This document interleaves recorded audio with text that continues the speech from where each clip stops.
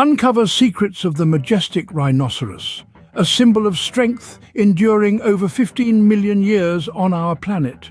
Among five distinct species, the white rhino reigns as largest, tipping scales over three tons. Black and white rhinos aren't black or white, but grey. The iconic horn, a marvel not of bone but keratin, akin to our hair and nails, grows continuously, sometimes over a metre long. Despite their immense size, these creatures can trot up to 40 miles per hour. They communicate through unique vocal sounds and even, believe it or not, through their dung.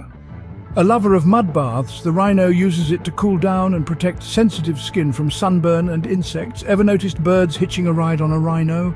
Meet the oxpeckers, the rhino's personal pest control and security alarm. Today, these solitary giants face threats from poaching and habitat loss. It's up to us to ensure their survival. The rhinoceros, a true icon of the wild, a testament to nature's beauty and resilience,